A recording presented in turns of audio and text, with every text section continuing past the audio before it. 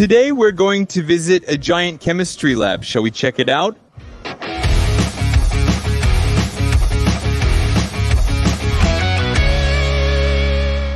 See this greenish pool?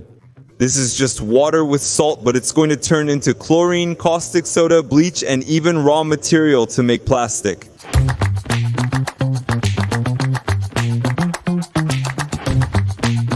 We came all the way to Santo André in the metropolitan region of Sao Paulo to visit one of Unipar's three factories.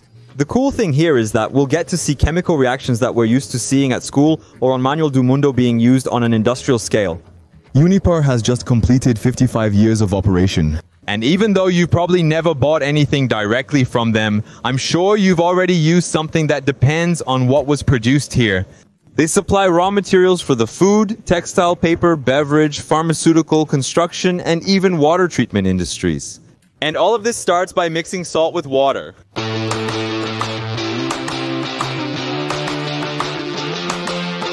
Look at this mountain of salt. This is industrial salt.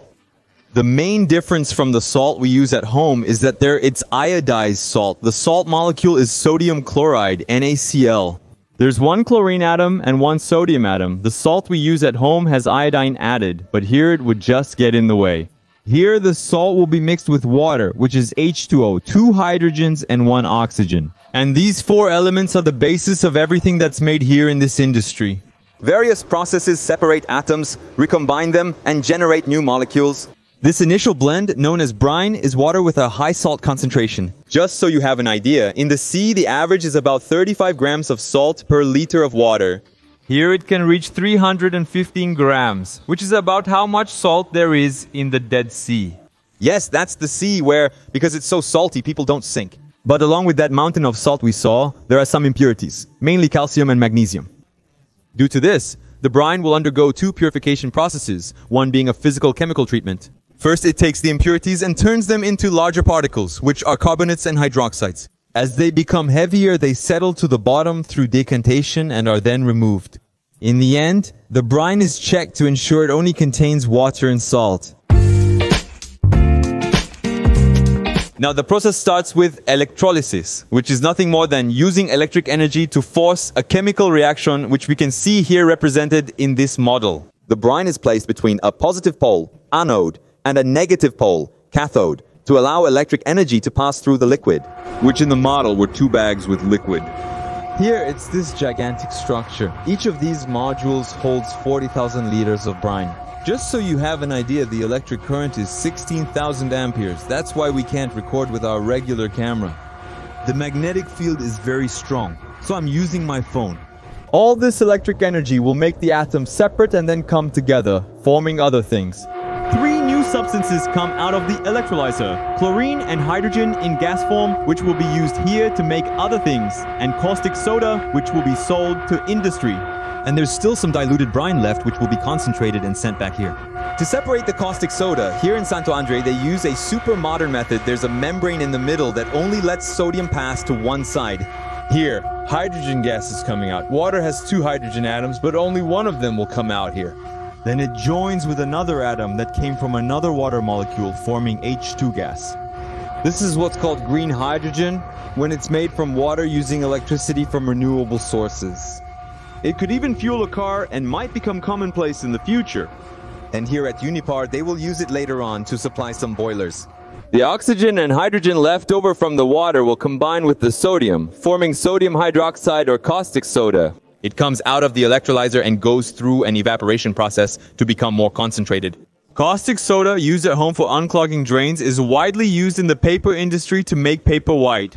But it's also used to make soap, detergent, and it's even part of the aluminum production process. And the third product that comes out of here is chlorine. Leftover salt atoms combine to form chlorine gas, Cl2.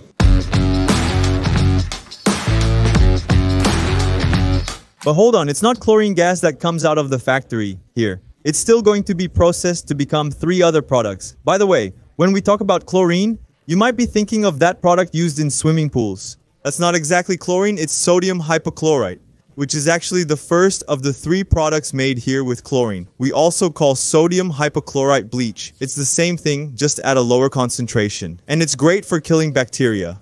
It's a mix of caustic soda and chlorine, separated earlier during electrolysis.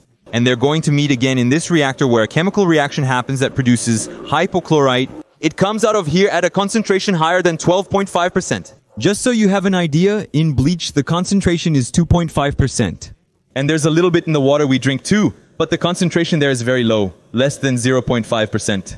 The second product you have in your stomach, which is hydrochloric acid. The chlorine gas enters this furnace, where it will meet the hydrogen also generated in the electrolysis process. The two together will react, burning and forming a gas that is hydrogen chloride, which is then mixed with water to form hydrochloric acid. This acid is used for a lot of things, for drilling oil wells in the food industry, in the steel industry to remove rust from metals. It helps in the production of biodiesel, in water treatment, and in our stomach, it helps with digestion. But in this case, it's our own body that produces it. The chlorine gas also goes to a part of this factory that makes something I bet you didn't know is produced with salt and water. Plastic. But then we have to add one more ingredient to this recipe, which is carbon. It arrives here in the form of a gas called ethylene, which is a molecule basically made up of carbon and hydrogen. First, ethylene and chlorine will mix in a reactor here, forming a product called dichloroethane. I can't get close because it's a classified area. Behind me, a heat decomposition process called pyrolysis will occur in a hazardous area inaccessible to our cameras. It will form vinyl chloride monomer, which is used to make polyvinyl chloride. In other words, the famous polyvinyl chloride, the one from polyvinyl chloride pipes. It's the process of turning monomers into polymers. In other words, for a tiny molecule to join together many times and form a big molecule, it will go through a polymerization reactor, which is what's behind me. The monomer arrives in the form of a liquefied gas, which is mixed with hot water. And from there, we have a polymerization reaction that forms a much larger molecule. The reaction time and process can yield a different, slightly more malleable plastic, a bit more rigid. What comes out of the reactor is a kind of sludge, water mixed with polyvinyl chloride powder, which needs to go through these giant centrifuges to dry. The plastic will still go through a dryer, and we're going to take a little bit from the machine so we can see the final product up close, which is this right here. It's this white powder that will be transformed into polyvinyl chloride pipes and a series of other plastics that we use in toys, packaging, vehicles, hospital products, and much more.